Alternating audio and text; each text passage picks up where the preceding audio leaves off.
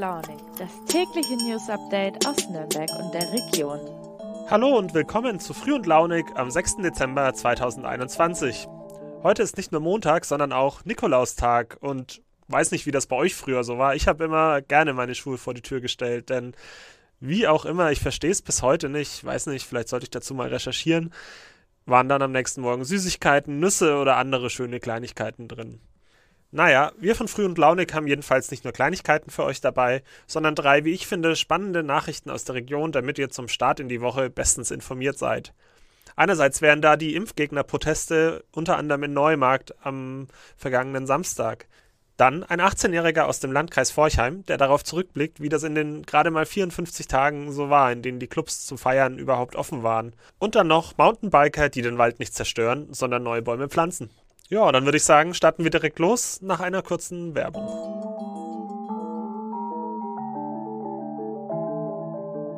Advent, Advent. Der Bohlen brennt und zwar für gute Angebote. Deshalb habe ich für euch etwas richtig Geiles rausgehandelt. Das Samsung Galaxy S21 5G ab nur einem Euro mit mindestens 200 Euro Tauschprämie.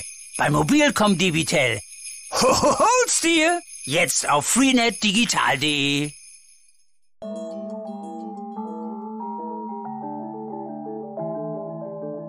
Am Samstag haben hier bei uns in der Region mehrere tausend Impfgegner protestiert.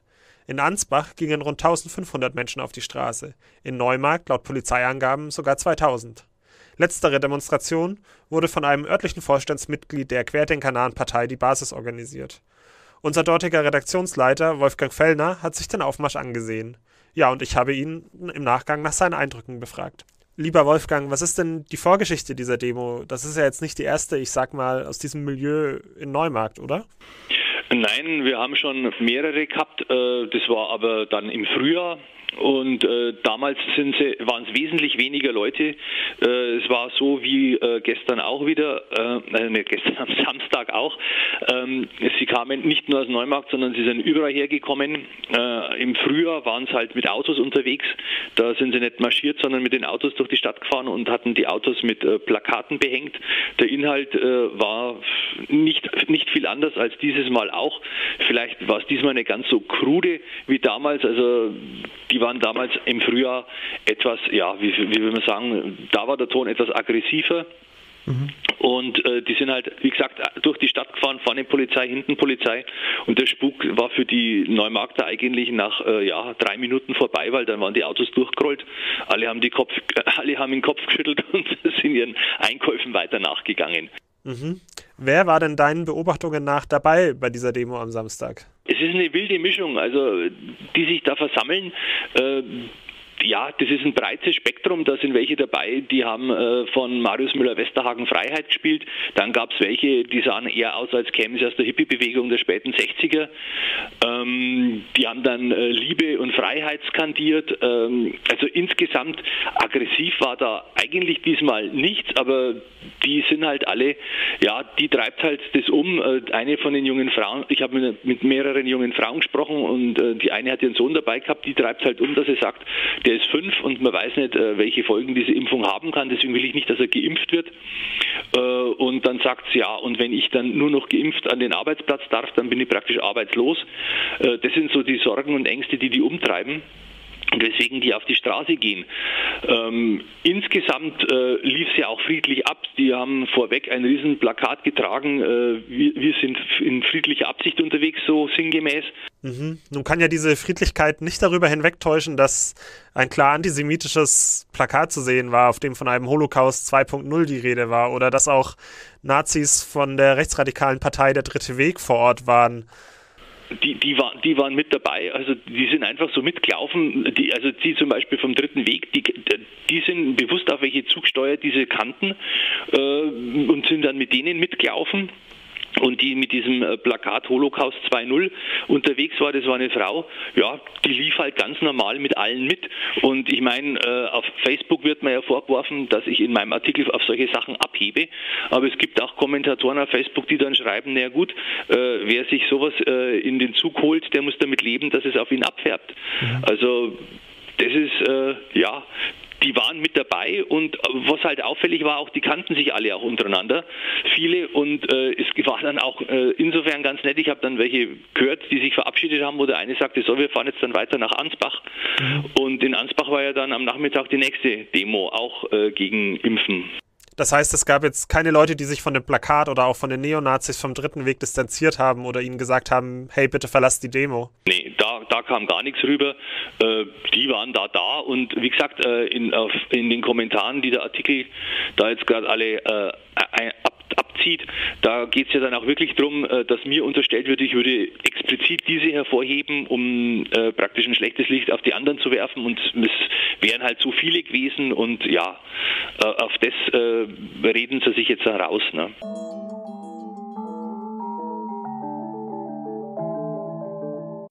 Erinnert ihr euch noch an unsere allererste Podcast-Folge Anfang Oktober?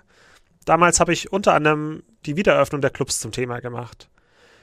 Das war eine Zeit, in der manch Betreiber gar von einem Freedom Day sprach, was heute, gerade mal zwei Monate später, ja fast schon absurd oder zumindest mal aus der Zeit gefallen anmutet. Ein Mitarbeiter von uns aus Forchheim, Timo Meyer von den Nordbayerischen Nachrichten, hat jetzt mit jungen Menschen genau darüber gesprochen. Also sie einerseits gefragt, wie habt ihr diese kurze Zeit des Feierns in Clubs erlebt und andererseits auch, wie verhaltet ihr euch seitdem, jetzt wo alles wieder geschlossen ist? Ich spiele euch gleich mal ein paar Ausschnitte aus einem Gespräch zwischen Timo Meyer und einem der Jugendlichen vor. Will gar nicht so viel vorwegnehmen, nur kurz der Hinweis, zuerst spricht Timo Meyer und dann der Jugendliche. Die Stimmung ist trüb, die Meinungen unterschiedlich. Gerade in der Generation Z ist man sich einfach nicht sicher, wie man sich nun verhalten soll. Viele feiern privat weiter, andere stehen solidarisch mit Intensivpflegern und Ärzten. Ich habe jetzt Johannes Maywald aus Forchen bei mir. Johannes, du hast das Nachtleben seit Oktober genutzt. Wo warst du unterwegs und wie hat's dir gefallen? Ja, gute Frage, Timo. Also zunächst mal war ich sehr häufig in Erlangen unterwegs, in Nürnberg jetzt eher weniger. Mm, und zwar einfach deswegen, weil es regional näher gelegen ist und weil ich tatsächlich davor nicht wirklich im Nachtleben tätig war, da wir das entsprechende Alter nicht hatten. Dementsprechend waren es auch meine ersten Eindrücke, die ich in diesem Bereich überhaupt sammeln konnte seit äh, Ende, also seit Ende dieser Einschränkungen. Und ja, wie hat's mir da gefallen? Also es war tatsächlich eine ganz andere Welt. Man könnte fast sagen, oder man könnte bildlich sagen, in den Clubs hat kein Corona existiert. Also da wurde gefeiert wie zuvor, also richtig frei. Die einzigen Einschränkungen, die es gab, waren beim Einlass halt am Anfang 3G und halt ganz am Ende 2G plus, aber das war ein kleiner Preis dafür, dass man wieder feiern konnte wie davor. Da sprichst du ja nun schon ein hochaktuelles Thema an. 3G, 2G, 2G Plus und so weiter.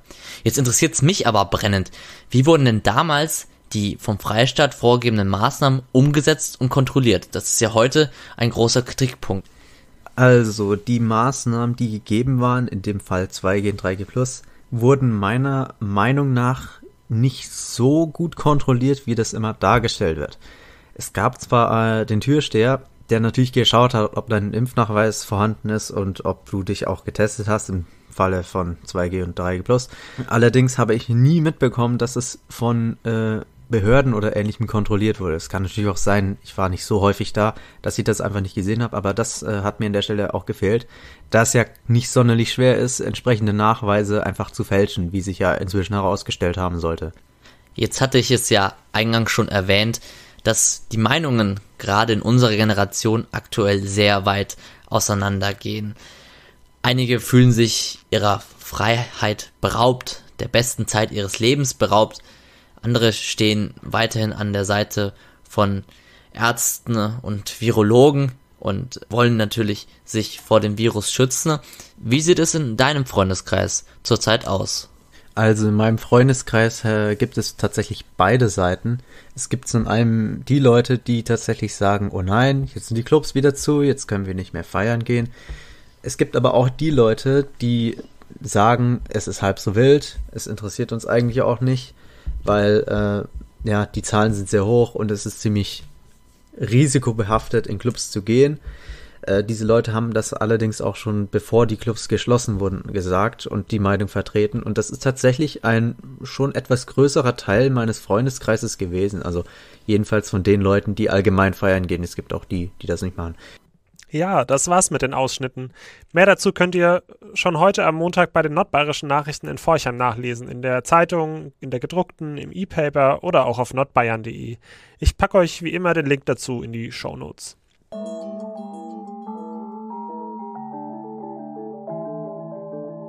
Puh, das waren jetzt irgendwie zwei schwere Themen. Also allein schon, wenn ich höre, dass Nazis auf Demos mitlaufen und das anderen Leuten offenbar ziemlich egal ist dann noch die Geschichte mit den geschlossenen Clubs, dass junge Leute jetzt nicht wieder feiern gehen können. Und nur damit wir uns an dieser Stelle richtig verstehen, ich finde es absolut korrekt, dass die Clubs angesichts der Lage gerade geschlossen sind. Aber es ist halt auch einfach keine schöne Nachricht. Vielleicht hilft uns da folgende Geschichte meiner Kollegin Clara Grau weiter. Sie war am Samstag im Wald, hat dort Mountainbiker getroffen, die ja wirklich Bäume pflanzen. Hört selbst. Ähm, Markus Bader ist mein Name, ich bin von der DIMP IG Nürnberg-Fürth, das ist die Deutsche Initiative Mountainbike. Äh, wir sind jetzt hier seit gut zwei Jahren in Kooperation mit den bayerischen Staatsforsten und äh, bauen hier zusammen Mountainbike-Trails am Schmausenburg. Ähm, heute sind wir etwas anders unterwegs als sonst. Sonst ähm, werden, bauen wir ja hier äh, in Abstimmung Mountainbike-Trails, in Abstimmung mit dem Forst. Und heute wollen wir quasi in der anderen Richtung wirken. Wir wollen dem Wald ein bisschen was zurückgeben, nämlich Bäume pflanzen in den Bereichen, in denen wir nicht fahren, um so ja, das Ganze auch wieder ein bisschen zu renaturieren und auch ähm, dem Wald, Wald ein bisschen was zurückzugeben. Das, was wir sonst als Mountainbiker einfach im Wald auch nutzen. Wie viele Leute sind denn dabei ungefähr und was sind das für Leute? Also äh, wir sind heute mit einer äh, Gruppe hier äh, unterschiedlichsten Alters, von, von Kindern bis zu älteren, ähm, Jugendlichen, Erwachsenen, alles äh, ist vertreten. Ähm, das bildet auch so ein bisschen so diese Mountainbike-Community ab, die ja altersmäßig überhaupt nicht eingeschränkt ist. Ähm, und ähm, wie viele Leute sind hier heute? Ich denke mal, bedingt durch die ganzen Rahmenbedingungen etwas, ja, sind so 20, ungefähr 20 Personen, die sich heute hier zusammengefunden haben. Na, wenn das keine Good News sind. Damit sind wir am Ende der heutigen Früh- und Launig-Folge angekommen. Meine Uhr zeigt ungefähr zwölfeinhalb Minuten. Ich hoffe, es war für euch wieder eine gute Länge, um einerseits in aller Kürze aber andererseits doch gut informiert in den Tag und auch in die neue Woche zu starten. Habt eine gute Zeit, wir hören uns, wenn ihr wollt, morgen wieder und bleibt vor allem gesund. Euer Max.